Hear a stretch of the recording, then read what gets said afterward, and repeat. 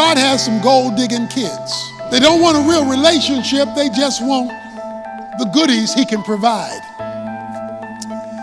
And so they'll play the part. They'll look the part, they'll go to church, they'll carry a Bible when, when actually they're spiritual gold diggers.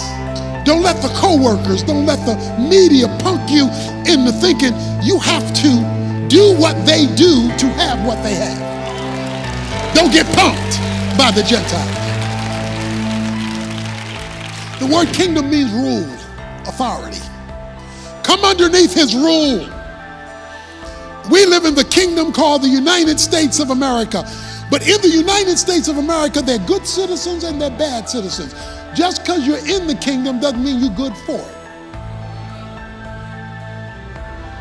God has kids in his kingdom.